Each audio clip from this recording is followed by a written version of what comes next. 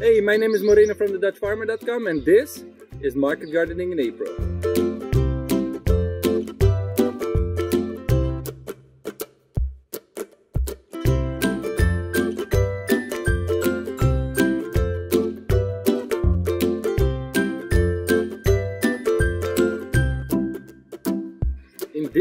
I'm going to show you the step-by-step -step process we use on our farm for transplanting a crop into a bed. I'm going to take you through the process of harvesting, processing and storing a crop. And as last we're going to plant a couple of tomato beds in the high tunnel. Lots of work to get done so let's get to it. April is one of the months in which we transplant a lot of crops that we've seeded and started in the nursery and today we're going to transplant Swiss chard. Although transplanting a crop into a bed is pretty straightforward, there are a couple of things to uh, look out for and a couple of steps to take to ensure your crops will take off rapidly and have the best possible growing conditions to thrive. On our farm we practice something that's called the no-dig approach. Essentially with this approach to market gardening, we are trying to imitate the way nature functions and keep our soils covered at all times with a form of organic matter, in our case with compost. This has many benefits of which some are feeding the soil food web and the suppression of weeds, but it also makes it super practical for when it comes to transplanting a crop. Unlike old school and more traditional ways of farming, where tillage implements behind tractors or on the smaller scale with walk behind tractors and tilths are used to loosen up the soil to prepare it for seeding or transplanting, no dig and the applications of compost on the soil surface without incorporating it allows for a completely hassle-free, loose productive layer in which we can easily transplant our crops. Although the initial layer of compost when converting a plot of land into a production area is quite steep, the ongoing maintenance and management of this system is real simple. Through smothering out the existing layer of vegetation and all the weed seeds that have been stored in nature's seed bank, we barely have to weed our farm. This is a great benefit of the no-dig approach to growing annual vegetables. And to maintain the system in terms of fertility, we simply foresee every growing bed with a couple of wheelbarrows of compost and sometimes top off the beds between successions wherever that is needed. Anyways, let me show you our transplanting process. Depending on whether there's a crop in the bed, we first harvest it all out, empty it and clean it up, and apply a bit of compost on the surface if needed. This is then raked out to evenly distribute it onto the bed. Once we've done that, we need to mark out the spacing so we know exactly where we have to transplant the crops. For this purpose, you've got three options. You can use a rake with polytubes on it, you can use a bed roller with a dibble system, or you can use something that's called a gridder. When we initially started out, we used both a 75 centimeter wide rake with polytubing placed at the distances of where the rows will have to come, as well as the bed roller with the dibbles. If you're just starting out and you're starting on a budget, from the previously two mentioned options, I would go for the rake with the polytubings installed on it. It is a simple yet effective approach to mark out the exact spacing of your crops. You simply look at the crop you're going to transplant, you look at the distance they need to be planted at, and you measure this out onto your rake. This is where you will install the poly tubing. Once that is done, you carefully walk from one side of the bed to the other, trying to keep the rake as straight as possible on your bed.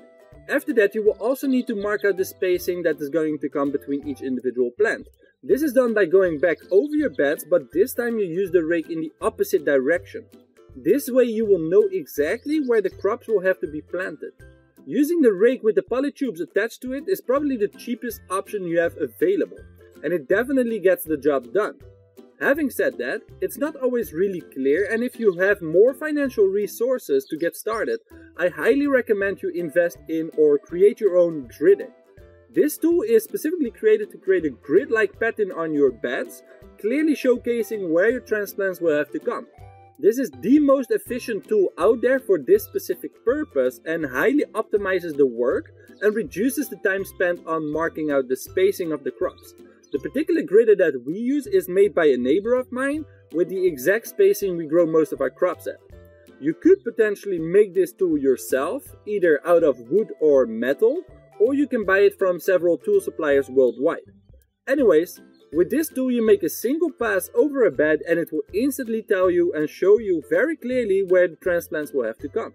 Once that is done, we grab the tray with the transplants out of the nursery and push it onto our dibble plate.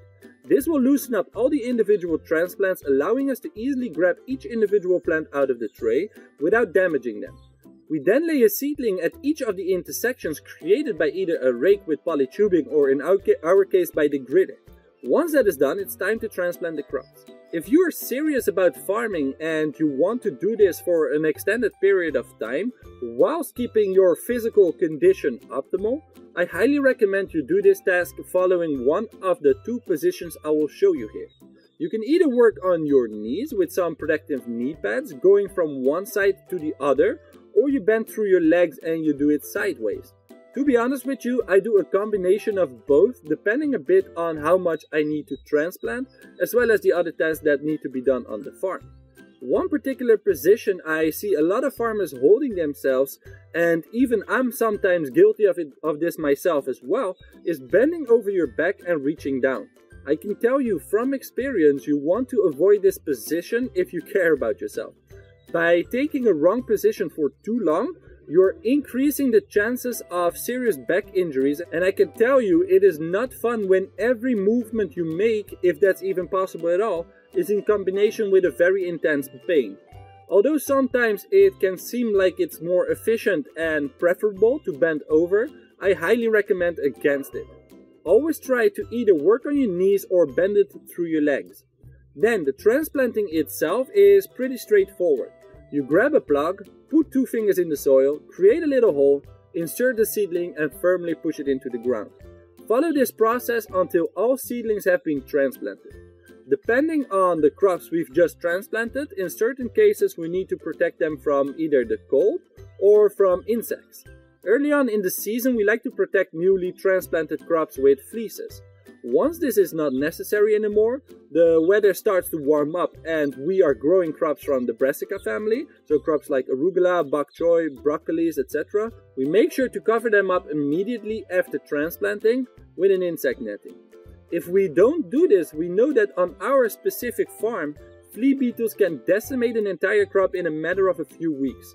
At this stage, once we are done with all the transplanting and if necessary, the installation of the fleeces or insect netting, I personally always turn on the irrigation for a while so that the entire area and the newly transplanted crops will settle in nicely and have enough moisture to ensure a good beginning of their growth cycle. From transplanting we head over to harvesting, processing and storing a crop. In this particular case we have a large standing order for our turnips which we sell off in bunches. Unexpectedly, we've been experiencing somewhat of crazy warm beginning of spring with weeks on end dry and hot weather. This caused us to have a much larger uh, flea beetle population than we're normally used to at this time of the year. We didn't anticipate on this and where normally we wouldn't have to cover this direct seeded crop at this time of the year with an insect netting, this time we should have. As you can see, the activity of the flea beetles has quite a negative effect on the foliage of the turnips. Many holes start to appear on the leaves, ultimately inhibiting the crop to photosynthesize, stressing the plant out and thus also ultimately affect the quality of the root crop. Fortunately for us, we eat all of the crops we grow here on our farm in large quantities on a daily basis, and the quality of this particular seeding hasn't been negatively impacted yet.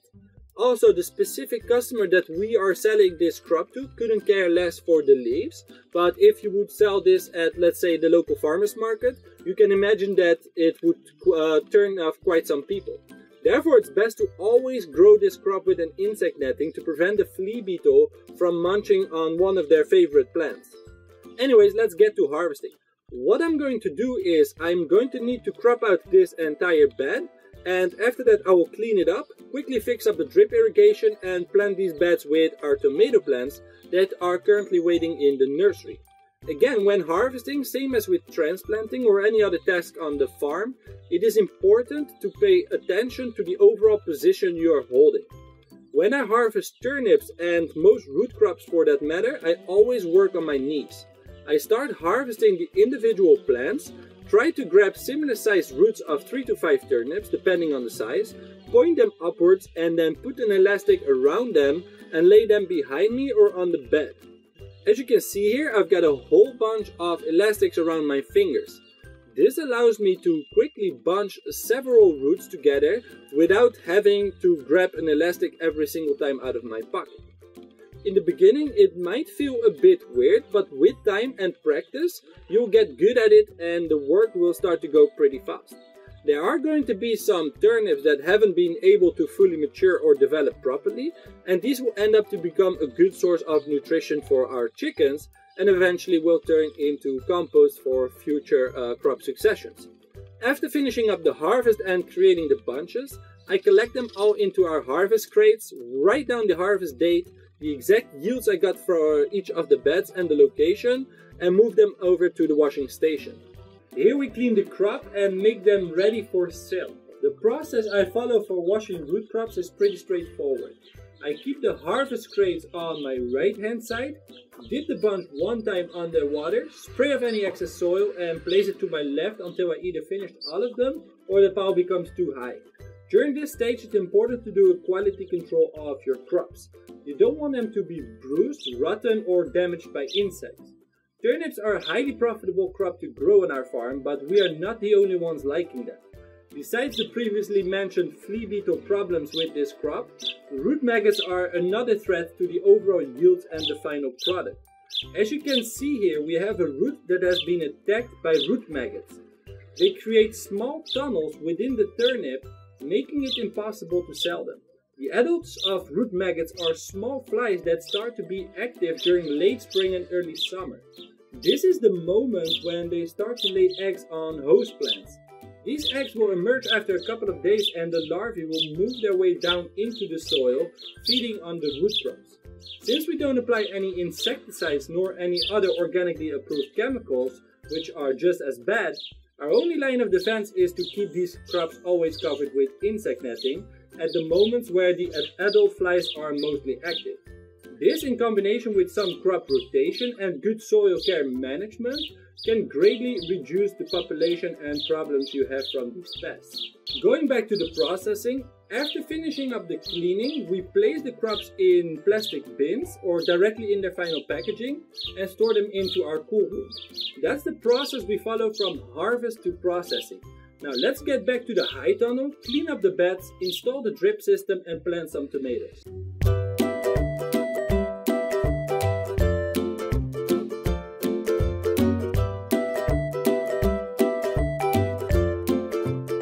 The beds cleaned up and the drip irrigation installed, it's time to lay out the tomatoes onto the beds. On our farm we grow the tomatoes in very tight spacing with each tomato plant planted at 10 inches or 25 centimeter distance. To lay out the pattern of spacing you can use the techniques I mentioned earlier on in this video. Since I've already planted uh, the beds next to, next to these ones, I have a good indication of where they will have to come. I first lay out all of the pots and on my way back transplant them into the ground. Due to the fact that we are working with no-dig style beds, our beds are really easy to get our hands in. Therefore we don't need to use uh, garden trowels or any other tools to make holes for the tomato plants. We simply dig the hole by hand, take the tomato plant out of the pot, softly loosen up some of the roots, place it in the hole and give it a final push. We do this until all of the tomatoes have been planted we install the drip and turn it on for an hour or so. The tomatoes can now grow on for several weeks before we start pruning them and training them onto our trellis system. If you like this video, make sure to subscribe to this YouTube channel right now. If you want more information on market gardening, check out our website over at thedutchfarmer.com. I hope you enjoyed this video and learned something new today, and I'll see you in the next one. Have a nice day.